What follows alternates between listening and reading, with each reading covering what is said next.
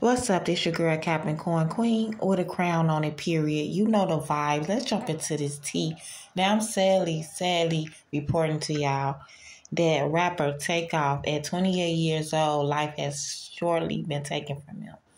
Rob, just Rob. Let's jump into it. Now, while out with J Prince Jr. in Houston at a dice game, Takeoff life was mistakenly taken by one of Quavo's security guards. Um, it was an altercation and an argument taking place. Some way, somehow, shots went off, and it wasn't even intended for him. Wasn't intended for him. Normally, that's how I go. So many young lives that's being robbed.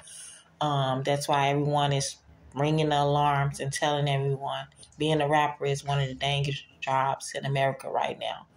So many young rappers' lives have been taken shortly before they can even take off. Um, him and Quavo just started their solo group, and man, like this is devastating to me because, as y'all all know, that Takeoff was our favorite Migos. Like, come on now, we love us some Takeoff, and this is sad, very sad that he was just up and coming and was about to take off. And let me know what you guys think.